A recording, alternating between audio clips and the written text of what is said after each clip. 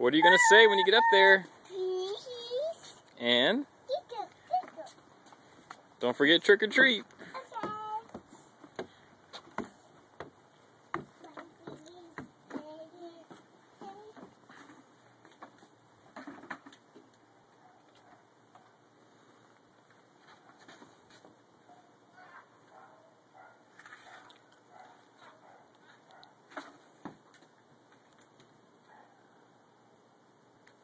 All right, Ethan, that's good. That's good, Ethan.